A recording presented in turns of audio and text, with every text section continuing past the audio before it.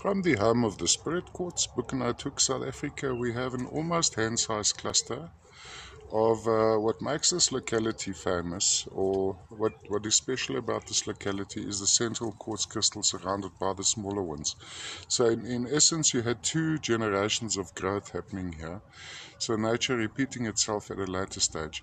Over and above that, if you look into the, let's look into that top termination, you'll see around the edges there's a very, very slight purple little bit of amethyst there, which is basically duplicated right through the specimen, determining its underlying color.